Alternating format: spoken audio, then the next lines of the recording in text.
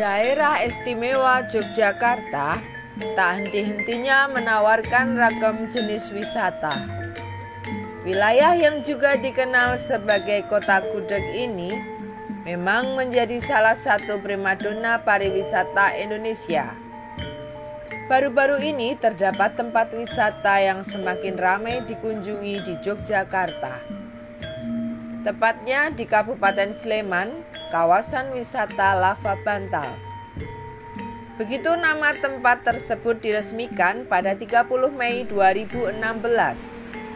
Kawasan wisata ini berlokasi di bantaran Sungai Opak, Dusun Watu Gede, Desa Jogotirto, Berbah, Sleman.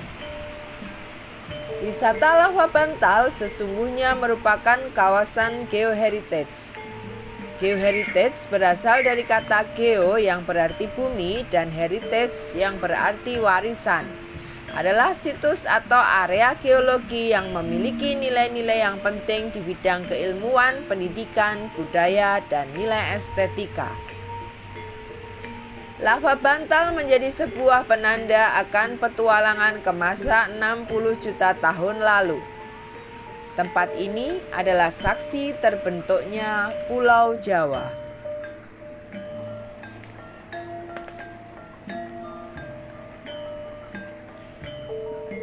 Bumi ter terdiri dari berbagai lempeng yang bergerak terus semenjak ratusan juta tahun yang lalu.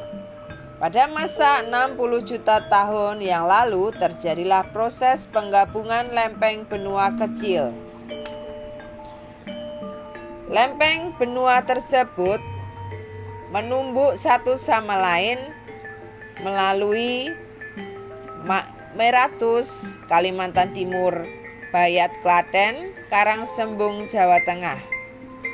Bukti tumbukan-tumbukan itu bisa dilihat di tiga daerah tersebut. Di sinilah terjadinya penggabungan pulau-pulau dan terbentuk satu pulau Jawa. Setelah terbentuknya Pulau Jawa, Yogyakarta adalah laut dangkal. Pada masa ini adalah masa terbentuknya gunung api-gunung api yang tersebar di seluruh Pulau Jawa. Gunung api inilah yang menjadi tulang punggung Pulau Jawa. Awal terbentuknya gunung api-gunung api tersebut terjadi karena Pulau Jawa yang sudah menyatu ditabrak lempeng Indo-Austria. Menunjang palung di selatan Pulau Jawa. Mengakibatkan retaknya lempengan benua Jawa dan dari situ keluarlah lava yang langsung menyentuh air laut sehingga terbentuk struktur lava yang seperti bantal. Permukaan lava ini terlihat ada kekar-kekar yang radier. Permukaannya hitam seperti terbakar karena efek pendinginan yang cepat pada saat menyentuh air laut. Lava bantal di Berbah ini adalah singkapan yang paling baik yang dijumpai di Pulau Jawa. Fenomena yang terjadi seperti ini cukup jarang ditemukan di Pulau Jawa.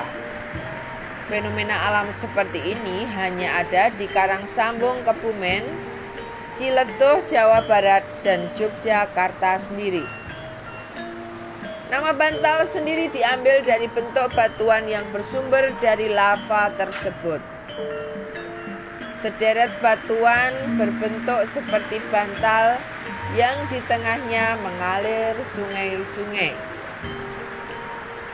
Ada hal yang menarik di wisata lava bantal, yakni tentang batuan yang berbeda warna antara yang kanan dengan yang kiri. Perbedaan warna batuan ini membuat para ahli dari berbagai universitas di Jogja melakukan penelitian Itulah awal dibukanya tempat wisata Lava Bantal. Saat ini tidak hanya para peneliti saja yang datang, tetapi warga sekitar mulai tertarik mengunjungi tempat tersebut.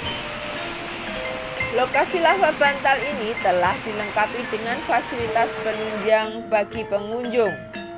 Di antaranya rumah joglo, gazebo yang digunakan untuk beristirahat, musola, toilet, serta warung yang menjual makanan dan minuman serta tempat parkir yang luas.